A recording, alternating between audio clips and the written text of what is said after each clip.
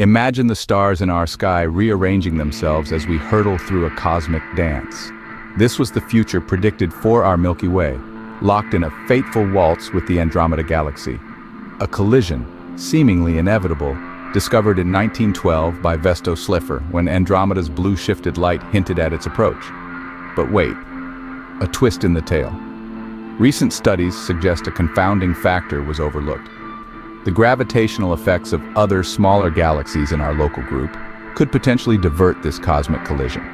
Considering the intricate dance of the four largest galaxies in our local group, the chances of a collision are now akin to a coin flip. And if this celestial merger does occur, we've got another 8 billion years to wait.